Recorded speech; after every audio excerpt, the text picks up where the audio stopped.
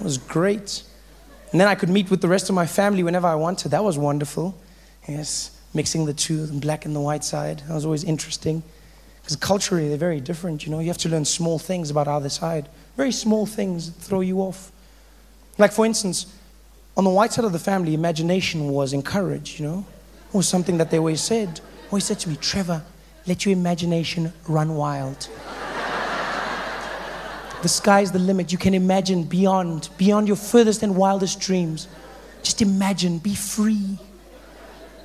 I was there and I was like, wow, really? I can imagine anything. They were like, yes. I said, well, I'm going to take it there. I got myself an imaginary friend. He's about nine years old. Oh, they're so cool. Yeah, I had one of those imaginary friend. I called him Andrew. Great guy, really cool guy.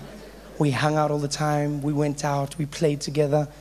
We even went to my dad's house. You know, my dad would open the door. Ah, Trevi, come in, come in, come in. Be like, oh, dad, don't be rude. Greet my friend. Be like, oh, where is he? He's right here next to me. He's like, I don't see anyone. I was like, oh, that's because he's invisible. He's my imaginary friend.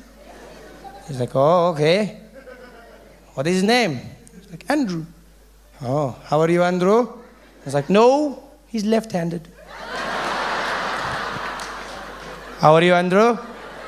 Andrew came in and he prepared two plates of food for us. He set everything up. It was wonderful, wonderful affair. Yes. I took Andrew to my grandmother's house only once. only once. I'll never forget that day. Walked in all confident. There I was. Yeah, you know, Andrew, that's, that's really how I feel about the economy. Mm-hmm. Just because we had like very deep conversations. Yeah. I don't know, Andrew. I mean, we get along and we different color skin. I mean, it's very cool, you know. We went, got to my grand's house. There were kitchen door, you know. Knock, cook, cook, cook, cook, cook. And my grand was like, come in. And she opened the top of the door, and then I opened the bottom, you know, because it was those two-piece doors at the kitchen. opened the bottom. And I opened it, I walked in, and I was like, hello, Gogo. And she was like, hello, Mtanam. And then she closed the door, and I was like, whoa, Gogo, wait. Andrew. And she was like, oh, sorry, Mtanam, sorry. Where is he? And I was like, oh, he's here. She's like, you? Upi.